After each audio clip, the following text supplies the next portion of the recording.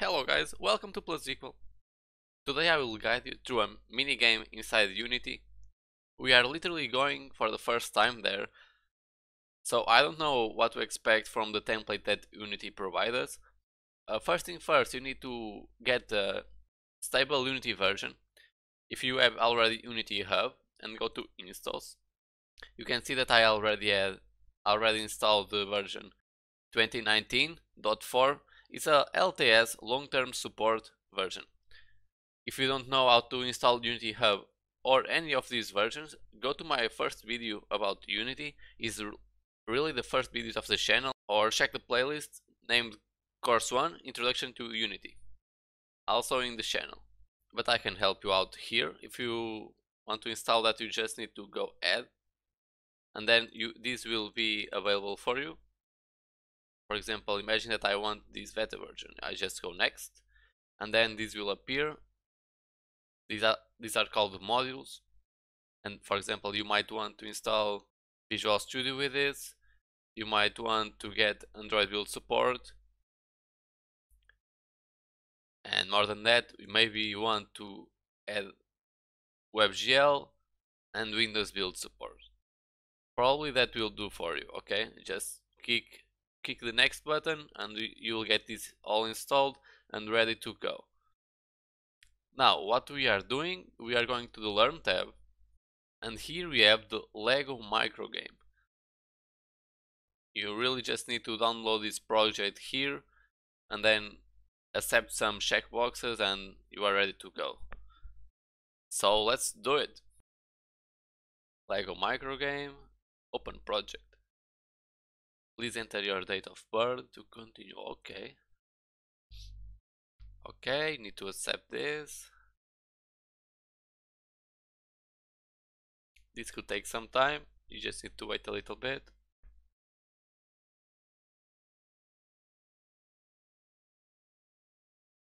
Okay, this took a while, but now we are back. And now you can load tutorials or load playground scene. I think I'm going with load tutorials for now. Okay, let's do this guys. So tutorials, get started, one of nine. Get started. In this tutorial, you will begin to explore the basics of navigating in the Unity editor as you playtest the start of the LEGO microgame, review the Unity editor interface, make the minifig character faster, Ready to go? Select start to begin. Okay, let's go. Start. Enter play mode. Yeah, so if you guys don't know, this button here lets you enter the play mode. We already told this in the editor interface video, but here we go. When we hit play, we'll go to the game. Okay, pretty sick. Let's see, let me just see the tab there on the right. Explore the game. Uh, AWSD to move. And this is cool. It's real like the Lego video game. I played some in the PlayStation and this looks like it. Uh, we have this to look, jump, double jump, and pause. Shadows, frame rate counter, sensitivity show control, take screenshot. Okay. Pretty neat. Let's see what we have here.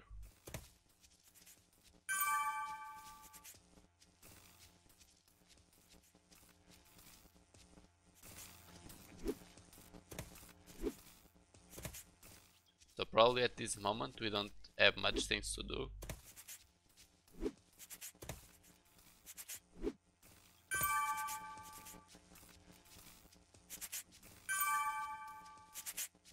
What is this? Hello? Nah.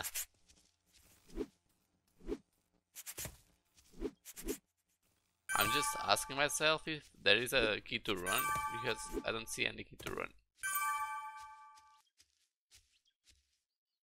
Okay. To quit you can just press the button again and you will quit the game. Or exit the play mode. Now they are telling me to select the player minifig game object. So you can see that here in the hierarchy we have our objects in the game. They say everything in game world including the minifig is called a game object. The hierarchy is where you can organize game objects. Each one in your game is listed here.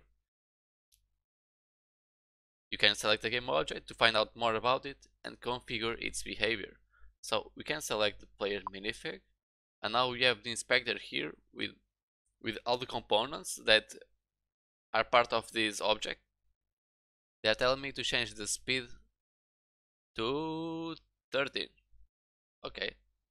Basically these are the components and you can see that the movement have a maximum speed maximum forward speed of 6 and if we change that to 13 it's more than the double and let's put next here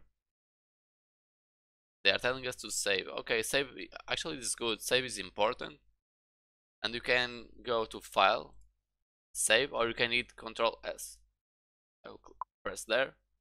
And now you can enter play mode again and see the difference. So you remember that the player was really not going that fast horizontally? And now it should be okay. Yeah now we are going okay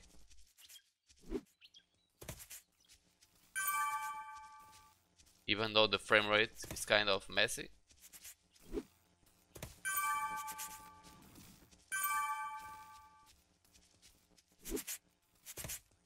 But now the speed is good. I can't jump this. Oh yeah they say you, you still won't be able to cross the gap. But don't worry you'll fix that next. That's nice. Uh, it, because it's very obvious that I can, can't make the jump to the other side so we now need to quit again okay Okay, and now tutorial 2. The next island, let's go.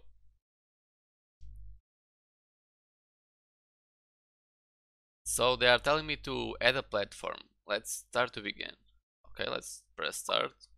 And add a platform, we have the project window here, where we can find uh, all the files, assets uh, for the Unity project. We can add we can drag assets into the scene. So here you see you have an altar, a bridge, a column, and we have a platform. So let's pick the platform. Let's put it here. Don't worry where, where the platform will be. We will probably change that. Now they are telling us to change the view. So if this is very common in some other softwares, if you press Alt and move, you can see that you can rotate close to the object. Even though what I enjoy more is clicking right clicking with the mouse and you see that there is some points there that is WISD for example and then you can move and change your speed of the camera to move around with WISD like flying mode. You can go up and down with E and key. We know we know how to change the camera so let's put next. If you don't know watch a tutorial of mine talking about the editor UI. Now they are telling me to select the move tool. Move tool is here on the toolbar. We already talked about this or you can press W. And now you can move the platform around. This comes very handy. Let's put next. Probably want to rotate the object. Well, that's true. You want to rotate the object. So I'll grab this little arrow here and I will rotate the object like this and move it like this and down a little bit and that's too much probably something like this will do but we will try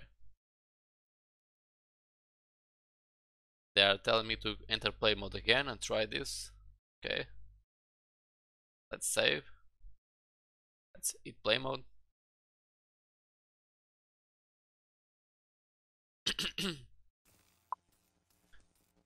there we go. Let's do this.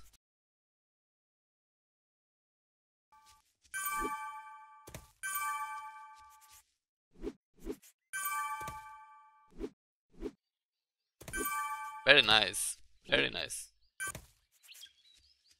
So we already passed that gap. Now we can quit play mode. And they say that uh, if the platform wasn't in the right place, take a moment to adjust it, then test again. Yep, that's what that's really what you need to do if your platform is not set up correctly. If you set up the, the platform correctly at your first try, congratulations, you did a great job. If you need to adjust it, you can go to platform and just focus on changing its values. And remember to use the transform tool and the rotate tool. Okay, we completed this tutorial. Again, now they are telling us to load tutorial number 3. Because this video is quite long now, I think we'll do this in the next tutorial video. We'll continue exploring the LEGO micro game. So I really hope you guys uh, enjoy this first approach to the LEGO micro game. And if you like this kind of videos, taking up the tutorials that uh, the softwares provide us, like Unity in this case, just let me know and maybe I will keep exploring them. Because there are three more I think, and there is also other mini projects. But anyway, that's it for this video. Thank you guys a lot for watching and I will see you next time. See you there.